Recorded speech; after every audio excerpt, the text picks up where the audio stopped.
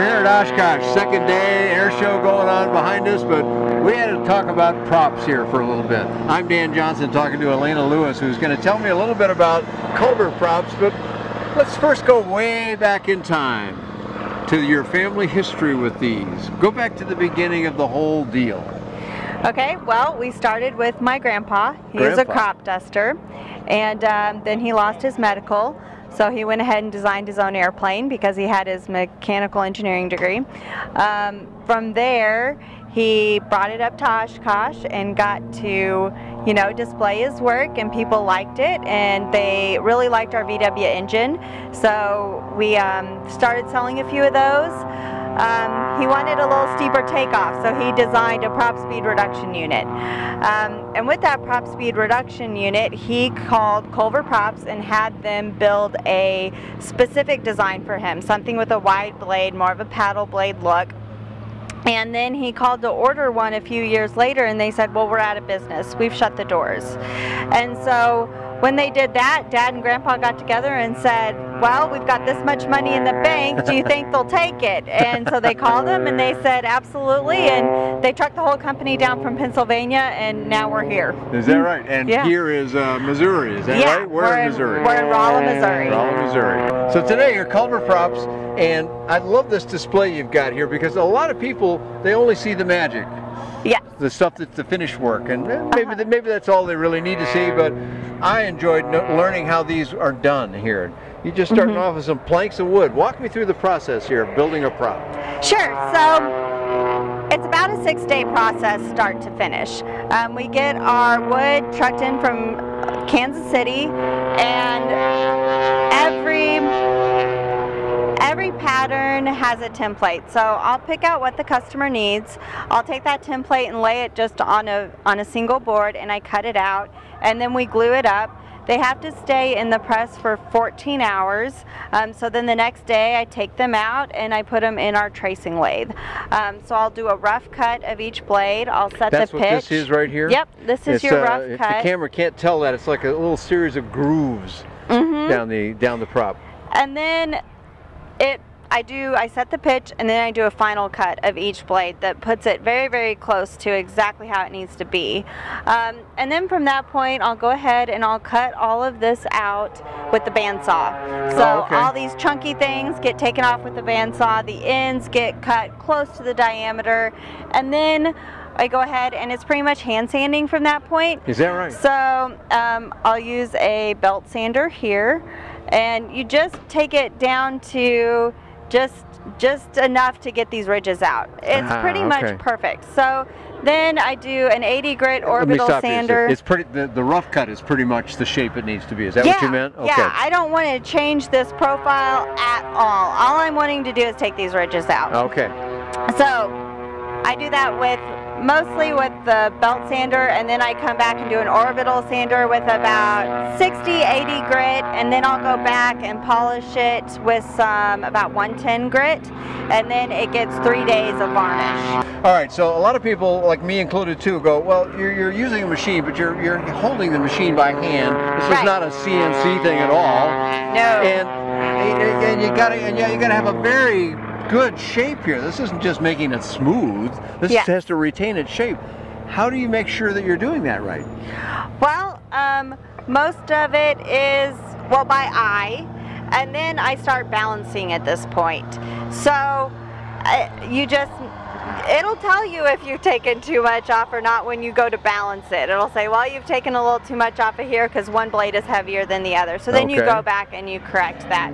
But generally, as long as you just stay with the profile and don't don't make any dips or don't flatten out anything. It's an eye thing. I would say I have a. You must have I some must good have, eyes. because I, I have a hard time answering that question too. I'm like, well, you just look at it. You just know. You I just can know. tell you for sure, Alaina.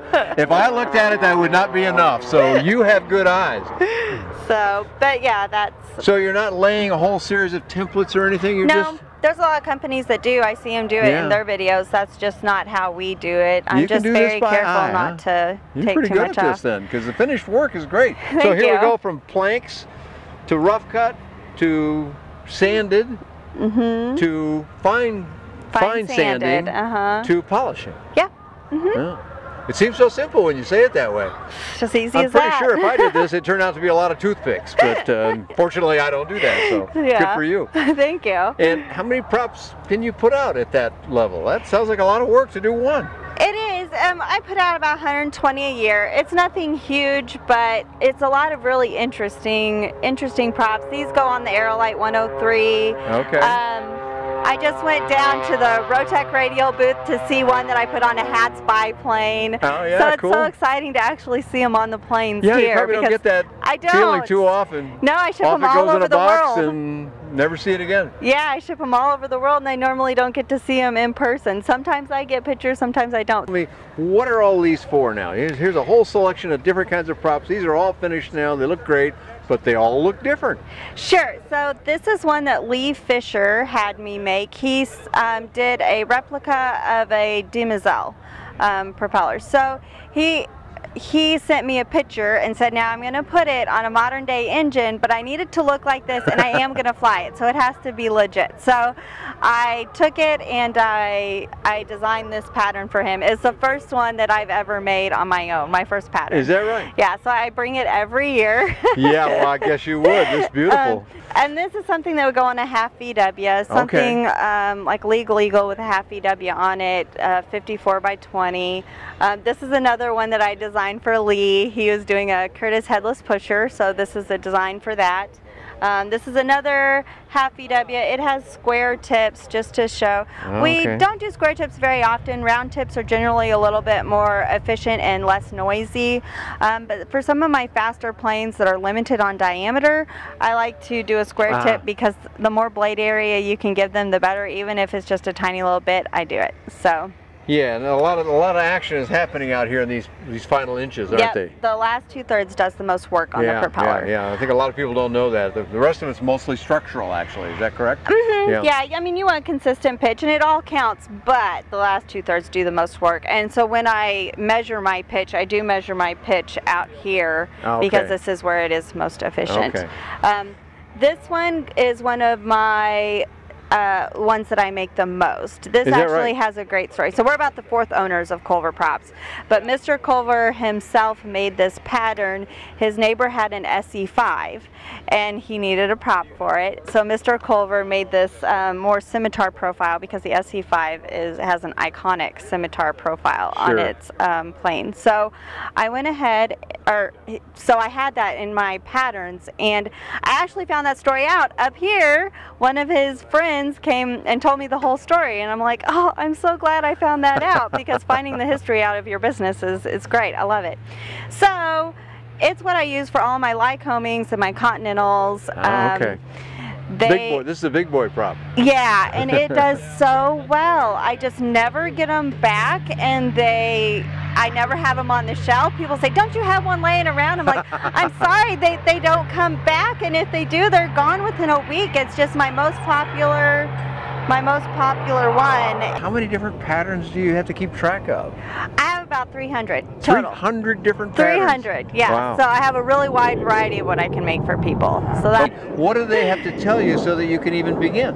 Sure. So most of the time I go with um, about how many horsepower it is, what speed they expect their airplane to go, so cruising, mile per hour, and RPM. Okay. Those are what I use to base my pitch on. So cruising, because that's where you are. Most of the time you're cruising. So those are the numbers that I use to pick the pitch.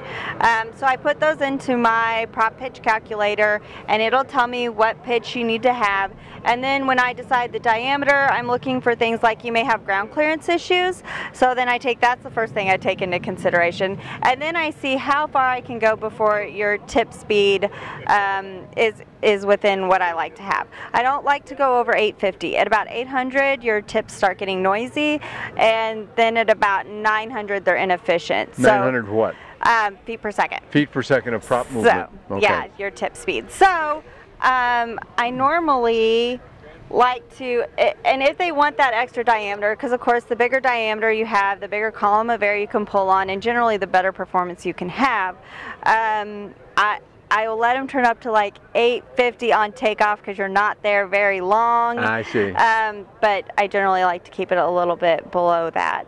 And your So- calculator helps you arrive at that number. Oh yeah, yeah, Okay. it does that. I know the formulas, but it's awful handy to punch well, yeah, it you in. got, you got the great eyes we talked about. it's a so. lot faster to do it. So Okay, let's talk a little bit about what actually goes in. You said you buy the stuff from a nearby supplier and you Uh-huh. get that, but what, what, I mean, it's a wood prop, but it's beyond wood. What really is going on here? sure. So we do grade A, select, top of the line wood, um, and no knots, no cracks, no anything. If I don't, if if even if I just look at it, I'm like, mm, just doesn't look right. I'll scrap it. Okay. So. But what I use is maple. This is maple. Maple, Um, okay. the second color is birch, and I like to do maple and birch because of the color contrast, and it's Yeah, really looks it's really pretty. Is that just a visual Um, or is that yeah. also structural? Yeah, they're both equally um, wonderful airworthy woods. Okay. Um, and then we use mahogany sometimes. Mahogany is a lot lighter. Also, when I do a special prop, um, like anything for my World War One replicas, like a Fokker triplane or something like that, they are iconic for having a a um, dark light, dark light laminations. Ah, okay. So I'll do a mahogany and a maple laminations Oh, yeah, to replicate quite that a bit of difference. that axial profile. So I just did a prop that went to a museum in Canada for their Fokker triplane, and we wanted it, you know, to be as original as possible. So I designed them a special prof, or I designed that profile for them in the diameter and pitch that they needed for their engine, and did the maple and mahogany mix, and it was beautiful. Cool, cool. Well, uh, congratulations on all of that. I'm really impressed with your abilities to do this, Alaina. That's wonderful. Thank you. Uh, and the Culver brand. I mean, as long as I've been in aviation, there has been Culver props. So Yeah. I'm so glad you're keeping it alive and doing very well with it. yeah, we bought the company in 2000, and it's it's been great. How many props have you personally made? Oh, Dad and I figured it out before we left. Probably, I've carved over a thousand in the carver, and I probably made start to finish about 800. Is that right? Wow, that's a. So, I'm not sure I know anyone else who can say that. So good on you. Thank you. Let's. Uh, I've asked you a lot of questions, but people will undoubtedly have ones I forgot to ask you. Sure. Where do we send them on the web, Alaina, so they can find out more and get in contact with you? Well, we're at culverprops.com. Okay. And then we also have a Facebook page, and I post little pictures. I try to do it daily of making the props in process. Um, I also have an Instagram page and kind of a YouTube page, but I'm not real good at it. But we can find all that through the website address. yep, it's all on the website. Very good. Mm-hmm. You can find more about, not so much about Culver props because I just learned a lot more right now, but you can find all kinds of airplanes with Culver props on them and a lot of other affordable aviation on ByDanJohnson.com. Thanks for joining Alaina Lewis and myself here at Well, EAA so Air Venture. Oshkosh.